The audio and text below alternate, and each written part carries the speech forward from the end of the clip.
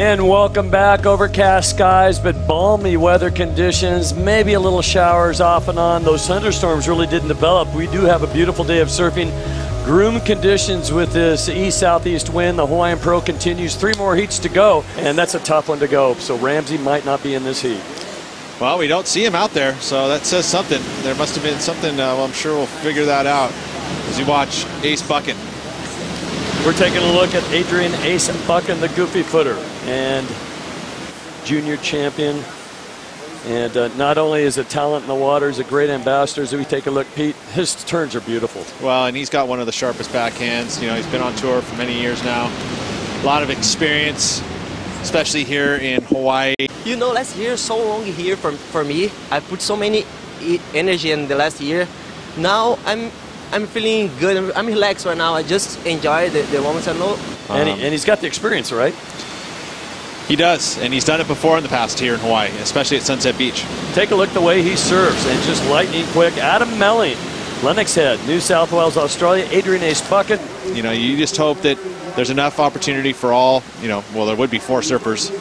Uh, and this one, you know, it, it is a big advantage to only have three surfers in the lineup. Well, a couple of waves, uh, a throwaway wave for Buchan. Here is Adam Melling, wave two, tucks into a barrel, finds a little doggy door that folds a little different direction. Not bad. Changing of direction. Watch this. He sees that little wedge there. He pops it, throws that arm down, throws the brakes on, slows down, and then comes out of the barrel. Looks like he's got himself a little bit of an injury too. You know, he was suffering from uh, a nagging knee injury, surfing through it, get that knee solid. He's still wearing the brace though to keep sure, make sure that it's uh, you know top notch. But it, it's now or nothing for him. You know, he's got to make sure that he gets through a couple heats here, which means he needs to make a few rounds here. Adam Melling has won two prime events or QS 10,000 events as they were known. And take a look, late hit for Adrian Ace Buchan. He goes down that runs, manages the tour. Guess what his nickname really is? I don't know. Surfing Bali. A sea cow came right up next to him, looked at him, and the surfers were laughing so hard. Uh, that would be Adam. That would be my godfather to my son John, and also the best man at my wedding. Here we go. Looking at that left was uh, Adrian Buchan. You're really good with animals.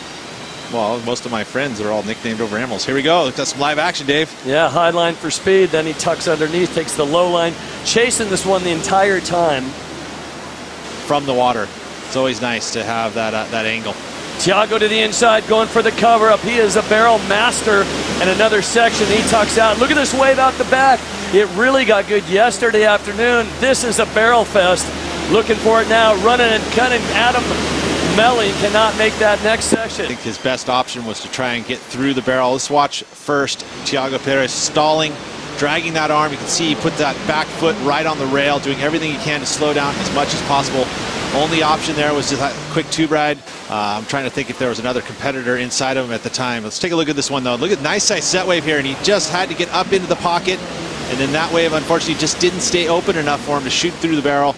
Pretty uh, difficult barrel ride out here on your backhand, but we're going to see a couple of guys try. Adrian Ace and keep an eye on him. Tiago, wave number four.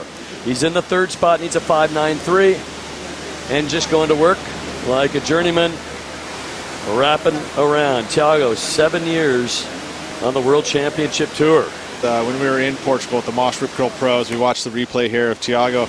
You know, he was able to get, receive a wild card, and the fans in Portugal loved Tiago.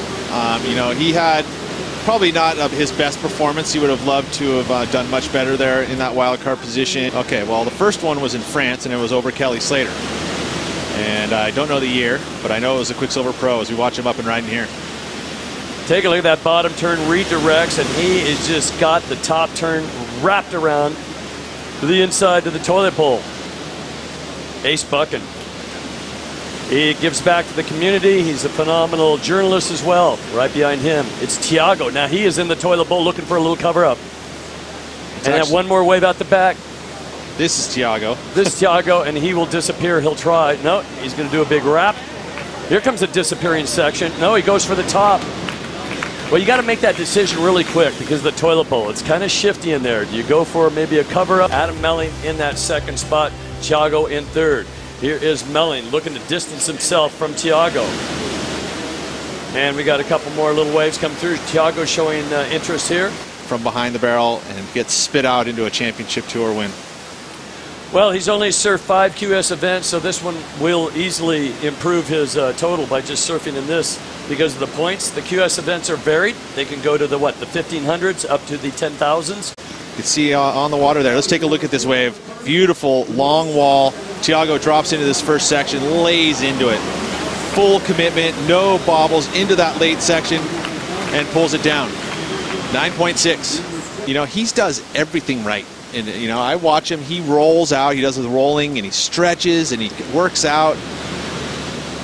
And take a look at Buchan here, looking to replace an 817. Yeah, he's been surfing that good. A pair of eights in his lineup here. What can he do to improve it? Well, some clean surfing. Don't see Ace Buchan make a lot of mistakes, do you? No, you don't. Um, you know, he rolls out his muscles, so he keeps them limber and loose. Let's take a look at this wave, though. Another beautiful backhand wave ridden by Ace Buchan. Upside down, you see how he puts his board above his head and throws a ton of spray. He likes to mix it up, doing different approaches in the lip. Some are vertical, some are more out into the face. Uh, I love when he gets upside down, where he actually gets underneath his surfboard. The Ace Buchan is going to let Tiago and Adam battle it out. Adam, look at this. Change of things here. He is on a backhand little left going into the channel.